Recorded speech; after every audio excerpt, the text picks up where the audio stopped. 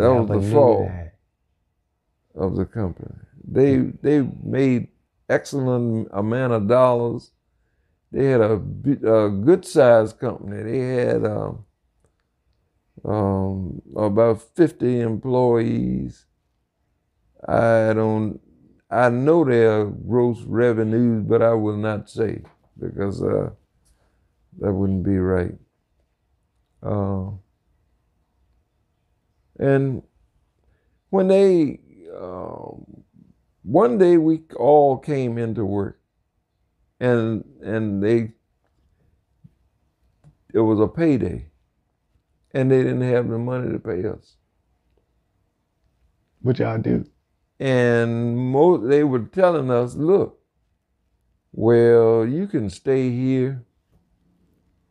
We're going to get the money to pay you just keep on working we're going to get you some guys kept on working i said well if you can't pay me now the money you already owe me i'm not staying here and working, hoping you're gonna be able to pay me later on.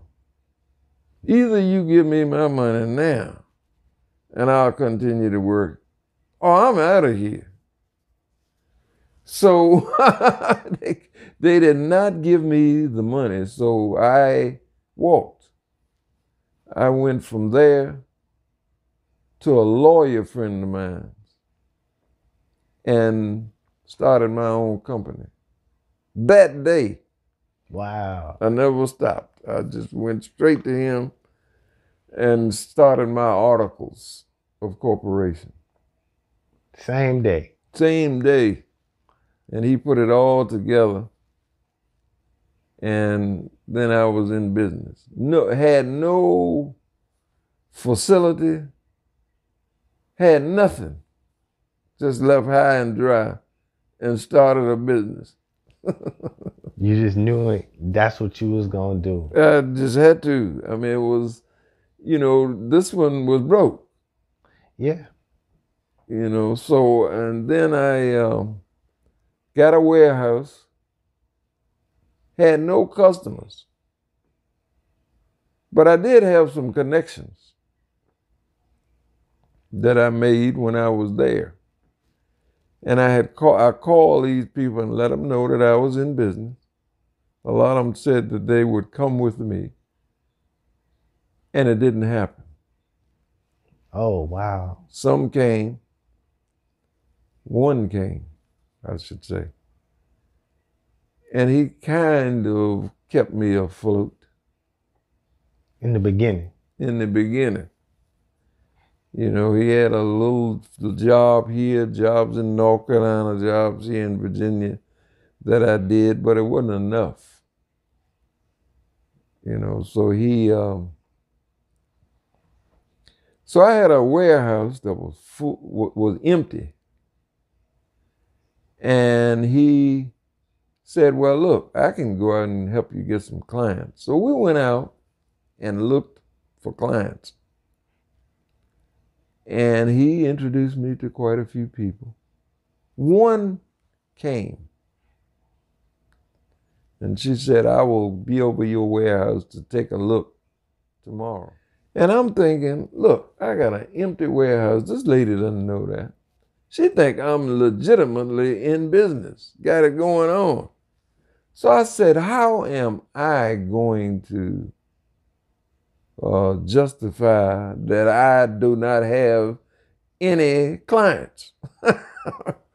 so I uh, got empty boxes and put it all around on some shelves. I had built shelves in the facility.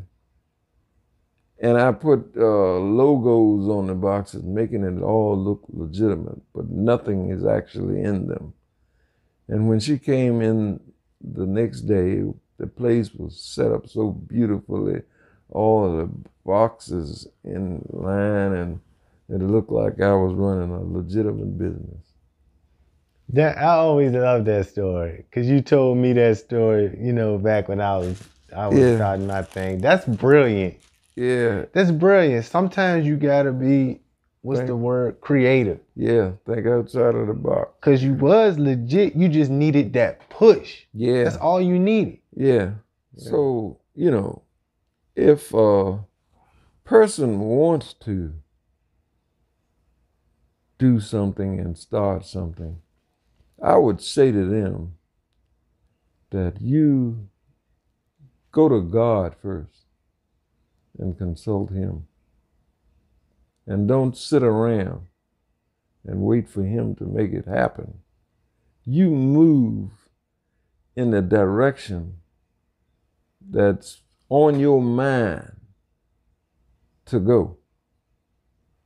And God will help you go to the maximum level of your potential and your drive initiative to, to move forward. He would help you achieve that.